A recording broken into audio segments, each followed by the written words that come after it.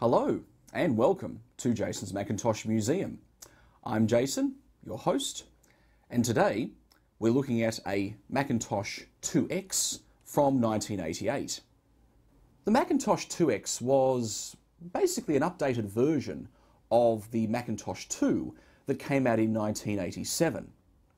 If you put a Macintosh 2 and a 2X side by side, they look almost identical. In fact, they share exactly the same case.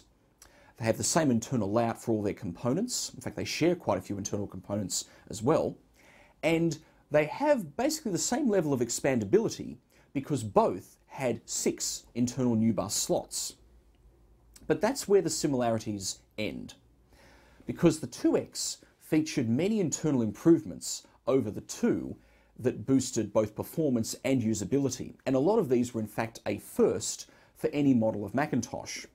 The first improvement of the Macintosh 2X over the Macintosh 2 was the fitment of Motorola's 68030 CPU and 68882 numeric coprocessor, both clocked at 16 MHz in this case.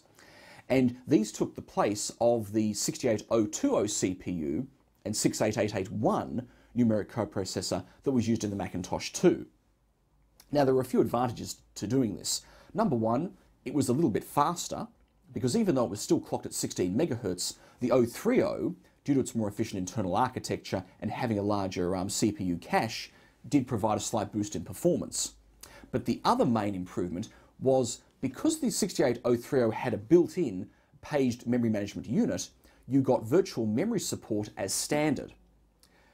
Admittedly though, if you were using System 6 with the 2X, as you would have done when the system was new in 1988, you didn't have virtual memory support in the software in terms of the operating system itself. Oper the Mac OS didn't in fact support virtual memory natively until System 7 in 1991. Although having said that, I believe there were some third-party add-ons for System 6 that enabled virtual memory, but you didn't get it officially with the OS until 1991. But at least the support was there in the hardware. And the other major improvement was, and this was also a first for any Macintosh, was the fitment of Apple's 1.4 megabyte SuperDrive as standard. And this allowed, first of all, the use of 1.4 megabyte um, disks for, for data storage, but it also enabled for the first time the ability of the Mac to read and write to PC or DOS format 720k and 1.4 megabyte disks and this was a big selling point back in the day because Apple stressed the benefits of being able to exchange data between your Macintosh and a, and a DOS PC back and forth. So that was quite an advantage. But other than that, there weren't any other major changes. But it, of course, did keep a lot of the nice features of the Macintosh 2, which was the large desktop case that had six internal NuBus slots. And remember, the 2X was one of only three models of Macintosh that ever had six internal NuBus slots, the other two of course being the Macintosh 2 and the Macintosh 2 FX. You also had the provision for one or two internal floppy drives in addition to an internal hard disk, which was also quite, uh, quite useful. So, some basic stats on the 2X. It was launched in September of 1988 and was discontinued in October of 1990. It cost between seven and nine thousand US dollars for a, for a system. Uh, that really depended on whether you had the internal hard disk or not. It came with one megabyte of memory as standard, expandable up to eventually up to 128 megabytes, in fact. And it came with an optional uh, 40 or 80, I believe, megabyte hard disk. So as I mentioned, it had the Motorola 68030 CPU and 68882 numeric coprocessor, both clocked at 16 megahertz. And it's also worth noting that just like the 2 and the 2FX, the 2X has no onboard video, so you have to use a video card in one of the NuBus slots. So that's really all there is to say about the Macintosh 2X. So what we'll do now is have a closer look at it.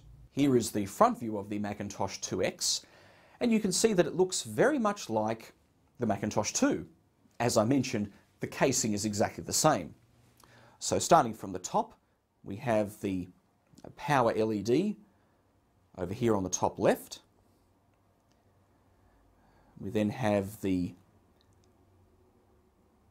cutouts for the single or dual internal floppy drives. And of course, with the 2X, you got 1.4 megabyte SuperDrives as standard, although you could in fact fit an 800K drive to the 2X and it would still work as an 800K drive. And then down here we have the Apple logo and Macintosh 2X nameplate. And that's that's about it for the front. There's really not much to uh, not much to talk about. Uh, there's certainly nothing on the side, so uh, we'll switch over and we'll have a look at the back. Here is the rear view of the Macintosh 2X. And so starting from the top, we have the, the top cover latch that you have to uh, push in on to remove the top cover. Remember there's one there and there's one on the other side. Then over here we have the serial number and production information barcode label. So we can see from this it was produced uh, in the first week of 1989 at Apple's Fremont, California plant. We have an air vent here. Then over here we have the slot covers for the NuBus slots. Remember there are six of them on the 2X. We can see one of them is occupied by uh, by a video card there. Over here we have the power inlet and monitor power output port. So this is an auto ranging power supply. Then over here we have the power on switch. And just like the 2 and the 2FX, the 2X supports soft power, so we can turn it on either from the power key on the keyboard or from this switch here. But notice that unlike the the 2X, sorry, the 2CX and the 2CI, there's no provision for locking the power button in the on position, which is a bit of a uh, bit of a shame. Over here we have the ports. We have audio out, 2 ADB, printer and modem serial ports, external SCSI, and that's about it. Oh, we have a security lock uh, connector here. But that's, uh, that's about it for the back of the 2X. So now we'll take it apart. Taking a Macintosh 2X apart is identical in fact to taking a 2 or a 2FX apart because they share the same case and they have the same internal layout for all of their components. So the first step is to remove the top cover. And to do that, we have two latches, little um, clips on the back, push in on those, lift the back of the top cover up, lift it up to about here, and then you can carefully release it from the front and off it comes. So I'll just rotate this so it's facing the front. So, what we have, power supply here, NuBus slots here, video card here, one or two floppy drives here, hard disk here, and the logic board on the bottom. So what we'll do first is take out any of the NuBus cards. So we'll take out the video card, we just rock it back and forth to release it. There's the video card out.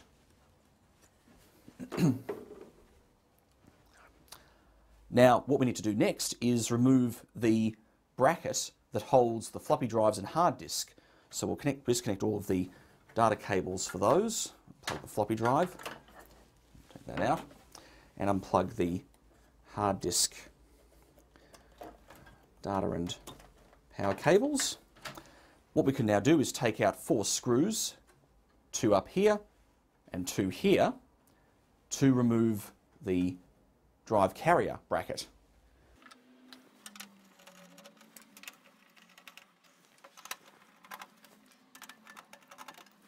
So now we have the screws removed, we can lift the bracket straight out and it takes the hard disk and floppy drives with it. Now, if you wanted to remove the floppy drive from the bracket, you simply undo this screw here and the bracket, the floppy drive bracket, comes off. And with the hard disk, it's the same thing. You take out these two screws here and this entire bracket comes off with the hard disk. So set that aside.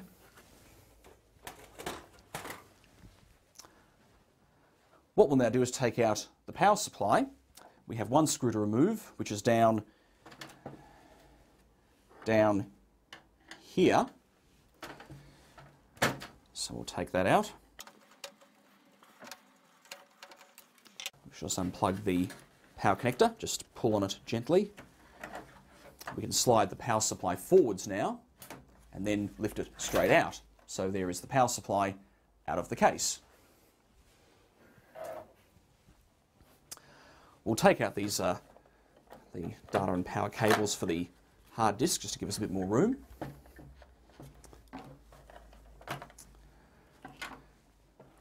Next, we'll take out we'll take out the speaker down here, unplug it, and there are two there are two clips, so you can see, one there and one there.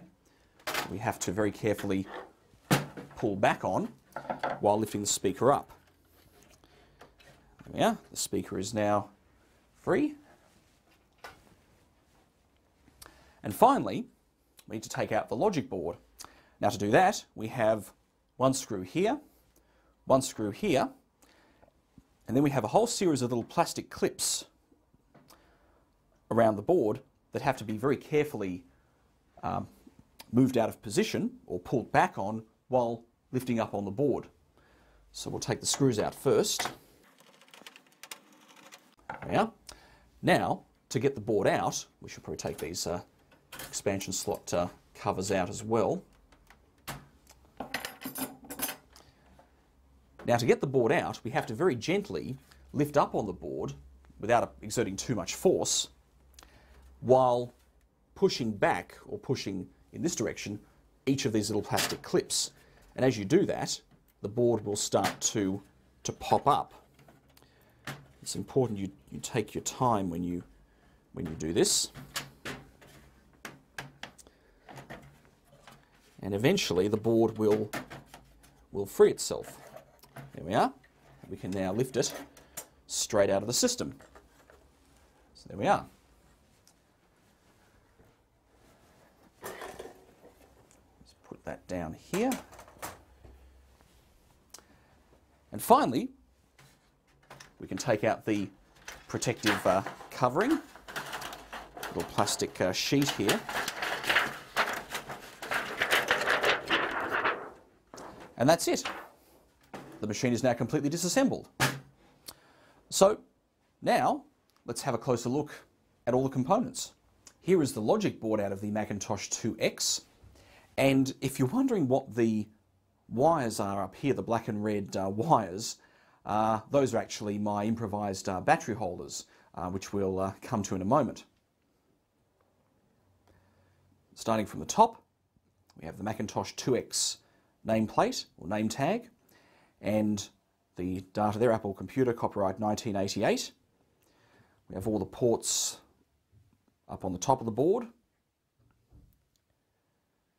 We have the power switch there. And also that green wire you see there is actually a jumper wire I had to run to get the power on circuitry working. So uh, just uh, ignore that. ADB controller here. I'm not sure what that chip is. I think it's got something to do with serial ports. We've got the serial port controllers or transceivers there. SCSI controller there. And what else? Uh, here we have the six NuBus expansion slots. And then over here we have the place where the batteries would normally go.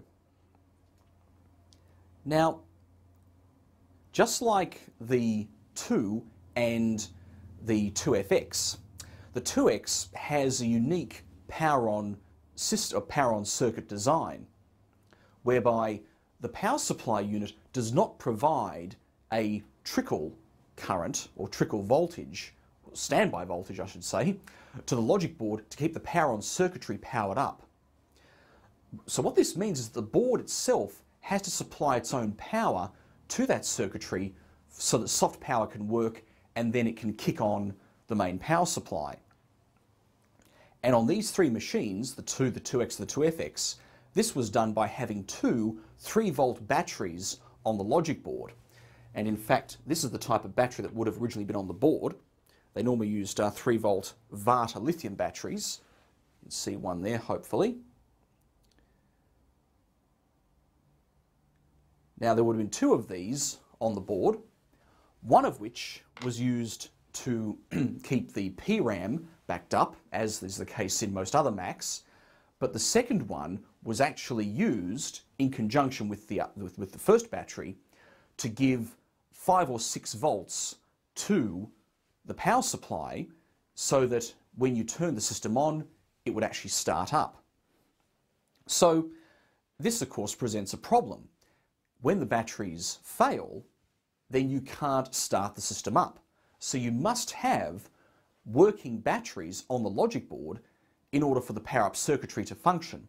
So what I've done instead is I've actually wired in two battery holders, look like this, each of which holds two AA cells to give me the 3 volts that I need for each battery. So by doing this, I can still power the system up normally. Now over here we have placeholders for ROM chips. But in this case, the ROM for the 2X is actually on a SIMM that sits here.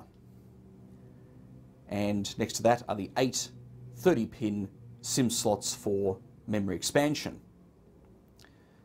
And moving over from there, we have the NuBus controller here the connectors for the two internal floppy disks. Clock crystals there. Let me move these battery holders out of the way. There we go.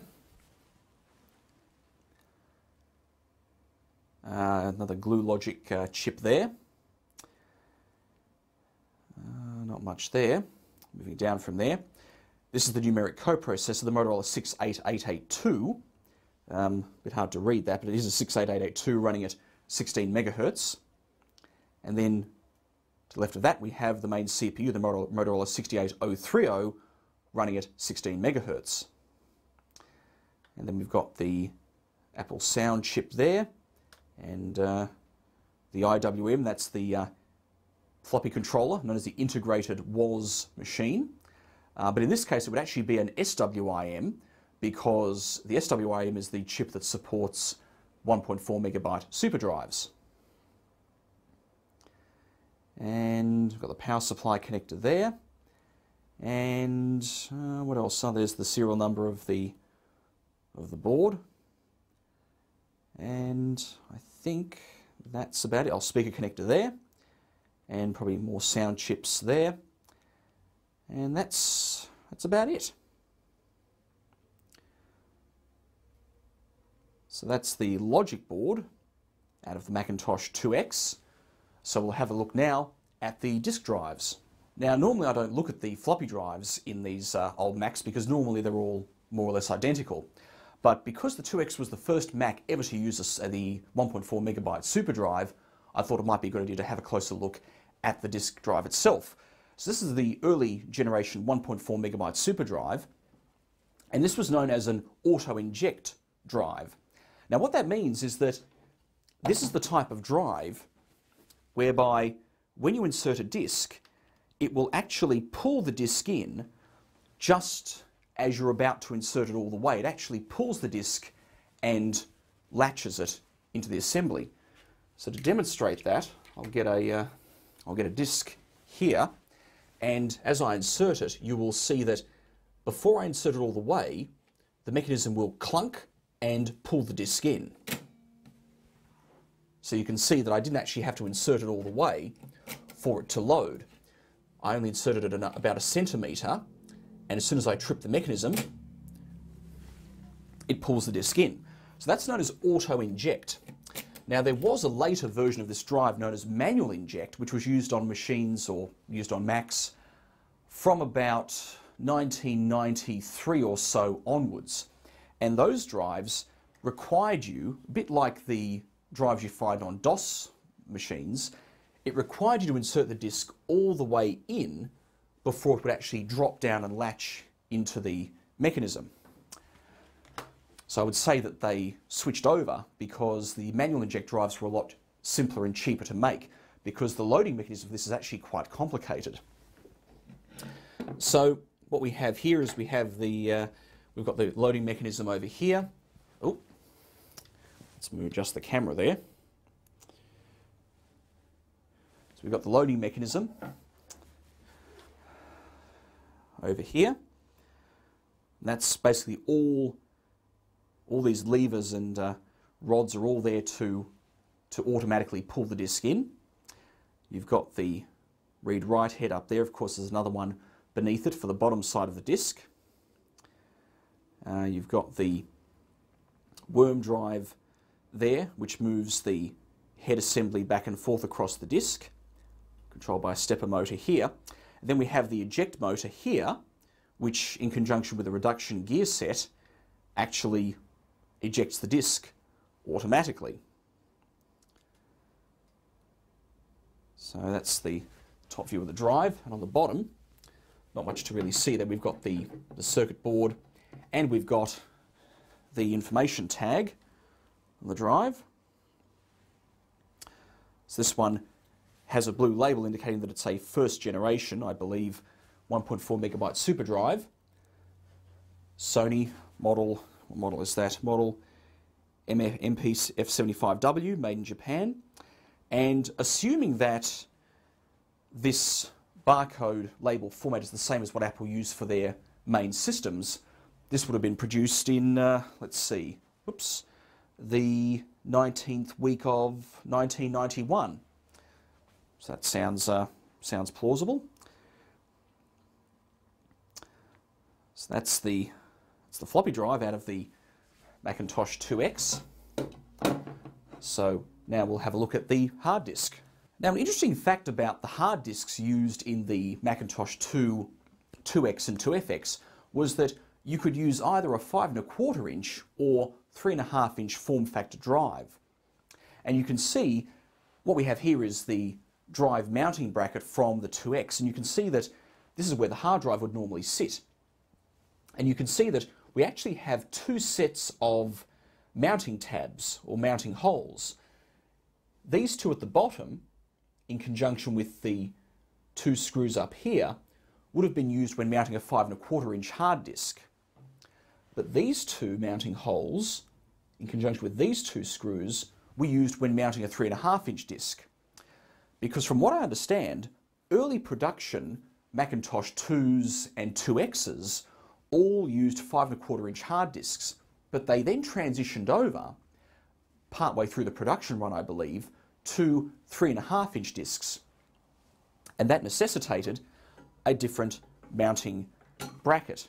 So let me find the mounting bracket here for the hard disk, which is this. This is the mounting bracket that was used when mounting a three and a half inch hard disk into a Macintosh 2, 2X or 2FX and you can see that it will sit in these two slots and be secured by these two screws at the top. So as for the hard disk itself,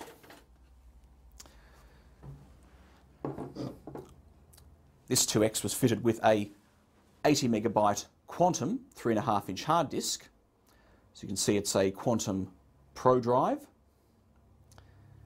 And this was an 80 megabyte voice coil activate, actuated hard disk.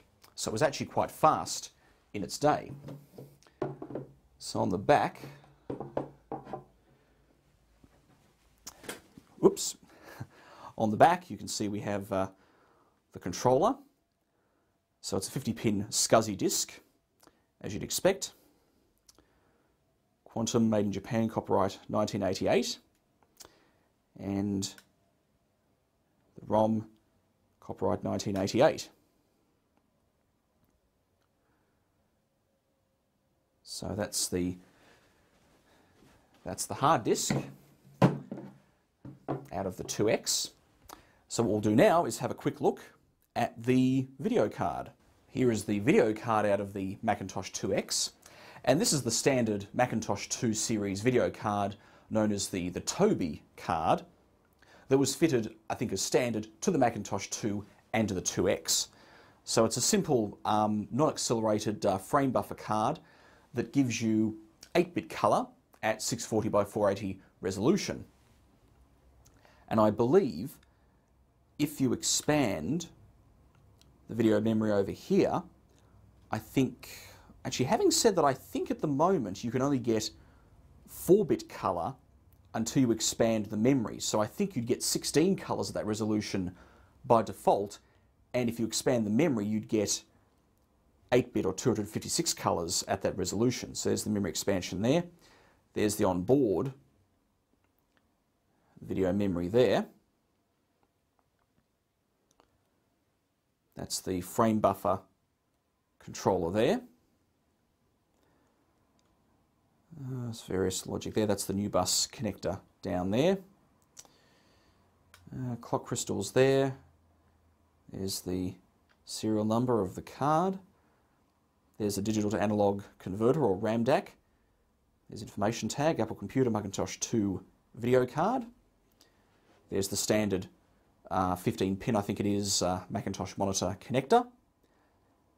And there's the ROM chip. So a pretty simple um, video card.